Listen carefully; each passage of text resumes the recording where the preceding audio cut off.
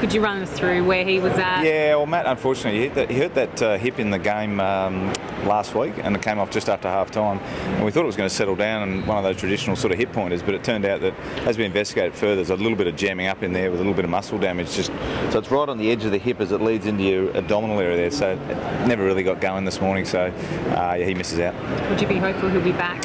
Yeah, we would be. We would be. So you know, but it's one of those things we're going now let it settle down and then uh, and treat it accordingly. And, but you know, hopefully next week he'll, he'll come back into the mix. That's a reasonable cover coming back in there. Yeah, yeah. Well, and we've got Bryce there who you know misses out, but he comes now comes in to play that sort of midfield role for us, which is a good opportunity for him. Is it? What was it about Bryce that didn't have him selected in the first place? Oh, well, to be honest, the team's been playing really well. You know, and Bryce was in the team a couple of weeks ago, missed last week, obviously, with the back.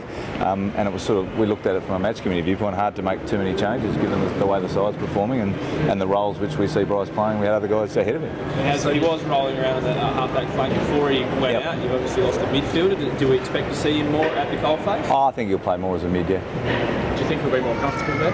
Well, I played a lot of footy both as a mid and down back. Um, oh, again, he played reasonably well for us down back a couple of weeks ago. So, um, but he's played a lot of footy as a mid. So, yeah, I expect he'll, he's ready to go. I'm looking forward to, uh, as I say, the opportunity. Is um, Brodie Smith right to go? He said Yep. John Blatt's a bit of a calf. Yeah, he had a little bit of a calf, but he trained fully this morning, and yeah, we, we at this stage he's, he's expected to play. There's no no real issue with him. And you're travelling emergency, Ned McHenry's? Yep. So Ned will come up with us, um, and he'll just be there on standby in case something happens from here on in, which fingers crossed it doesn't. How close is Ned? He's been in some really good form in the SANFL last Yeah, he's played some really good footy. And, you know, his last couple of games in SANFL, he's had a bit of a look inside. He's played a bit of time on the wing, so he's really developing, which is great. Um, and as you can see, he's now in our, our 26, so he's, he's getting close to getting a game. The Chayce Jones Riley Knight sort of selection there. Yep. Chance to get Chayce back in after he obviously started off the season well on the AFL side, had Yeah. injury and showed some good SANFL. Yeah, he played really well in the SANFL game, the last game they had against Norwood. So, um, and we saw him early in the season, and he obviously had that concussion and was in and out a little bit. So, um, and Knight probably just his, his form's just dropped away a little bit, um, and gives him an opportunity to go back and, and work on that at SANFL level. But you know, Chayce is a is a good replacement. But just, on, just back on Bryce, uh, a few weeks ago he's in the side and now he's not. Uh, I know you guys have been winning, but in terms of his form and what he is, what he is enjoying, what like? Well, he was in the side two weeks ago as a, as a half back, and obviously Luke Brown came in last week um, when Bryce was, was unavailable. So, as I said, it's difficult when you we'd like to fit everyone in, and we're going to have more challenges coming up because you know Richie Douglas and Paul Seedsman will play SANFL this week. Uh, Wayne Milera is due to be back next week. So it's a great problem to have, but it's it's more making sure that we're rewarding the guys who are in good form and playing good footy, um, and making sure we can create opportunities for other guys coming back in. But uh, you know, some guys have played really strongly over the last month for us, and you know the match committee was reluctant to make too many changes based on what's been a, a good a good side that's winning games. What do you need to see from Jenkins this weekend? Oh, it's an opportunity for Josh to play. I mean, last week, unfortunately, the ankle thing, we need to get that to settle down. So he wasn't, he wasn't really even available last week. So it's the same as we've been talking about before. You know, he goes and plays that key forward for a ruck role, and um, and Josh is a really important part of our team. And you know, we're looking forward to him getting back in good form, and again putting pressure on for spots as, as well as Elliot's played when he's come in. You know, in an ideal world, we've got multiple options that we can we can select from. So uh, looking forward to what, what Josh can produce on the week. Lachlan Neale is having a phenomenal season. Yep. What's the plan for him?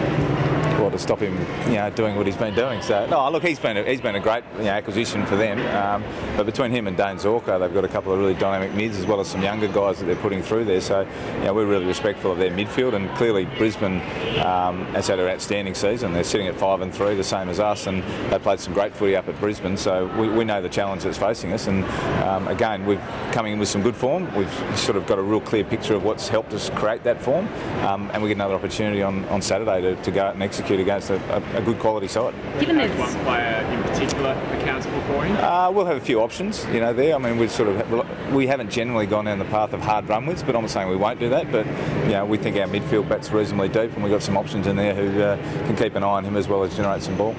given there's five teams sitting on five and three, Yep. how much pressure does that put on, I guess, every week and this week? Oh well, I think it's been said all year. The comp's so even, um, and we find ourselves where we are now, whereas four weeks ago we're in a different spot. So uh, there's no there's no easy games, uh, and we understand we've got to keep winning games to maintain a spot on the ladder. Um, and the reality for us is the only thing we can deal with this week is going to be Brisbane and Brisbane. So uh, we'll focus on that, and wherever we win or lose, it'll put us where we are on the ladder. So that's that's really what we control, and that's all we'll look after. They've got great speed, Brisbane. How do you deal with that? Yeah. Initiative towards that? Well, I mean, we, we, this, I got this question last week ahead of the showdown around what it looked like, and, and we've got a blend of balance of guys we think have got real serious running power as well as speed.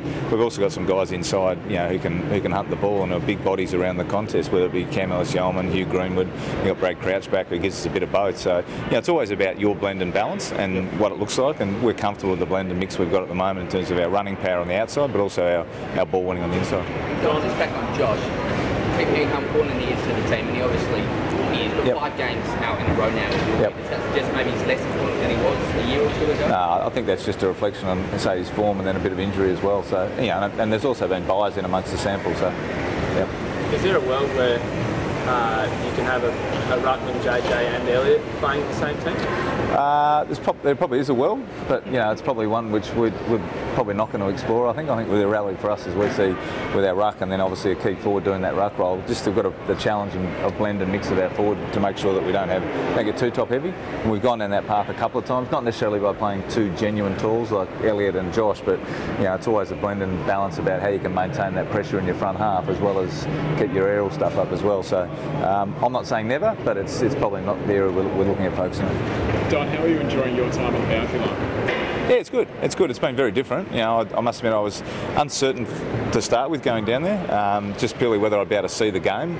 Obviously, when you're in elevated view, you've got the opportunity to sit up top. You've got replays. You've got behind the goal vision. You can check on things. So, um, but I've enjoyed it. It's actually been. An I've, I've sort of been able to see more than I thought I was going to be able to see, and certainly your engagement level with your players is far greater versus uh, when you're on the phone necessarily. You know, it's like you're sort of on the phone talking to someone, but they're half watching the game. Whereas when you've got them face to face, it's a lot easier to get the message across, feel what they're feeling, and get a feel for what they're seeing in the game. Um, so I'll continue to continue to explore that. Yeah. Especially given the um, the lack of scoring early in games, is Yeah. it easier to actually talk to players? Well, two, the runners aren't out? two weeks ago against Fremantle, we kicked. There was three goals in the first half. So our runner, he didn't get paid that night because he didn't go anywhere. So it does allow you to get messaging to the players. And we had a couple of things late in the game last week. It's good to be down there when you know Port were kept coming at us with some goals, and we're, I was able to talk to the players about what strategy or structure we wanted to go to, and how how we just need to just compose ourselves and make sure we finish the game off really strongly. So um, yeah, I'll continue to explore it.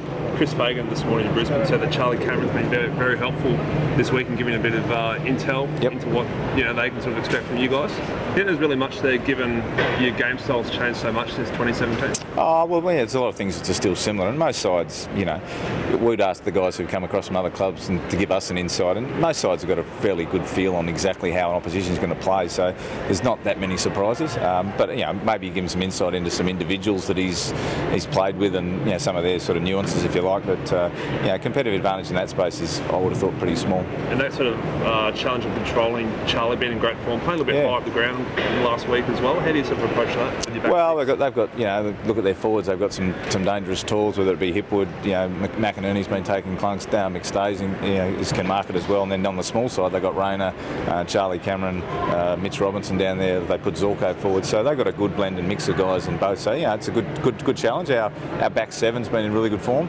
Um, another challenge for them on Saturday.